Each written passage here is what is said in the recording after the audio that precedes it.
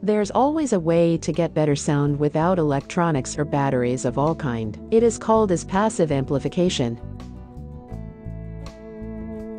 Rather than having sound waves dissipate into open space, this design provides reflection, so that some of the sound wave is redirected back to the listener, thereby increasing the perceived loudness.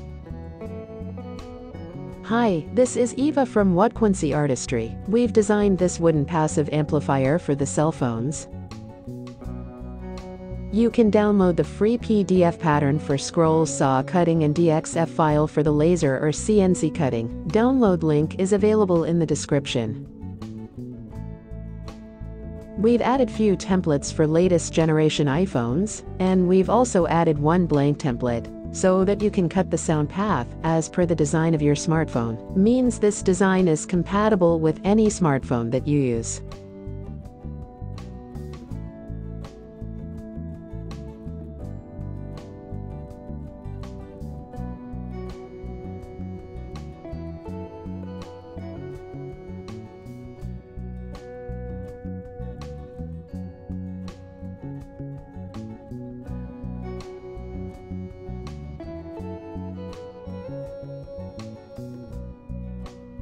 If you like this pattern, then give us a like, and also take a subscription to this channel to get the new contents. Thanks for watching.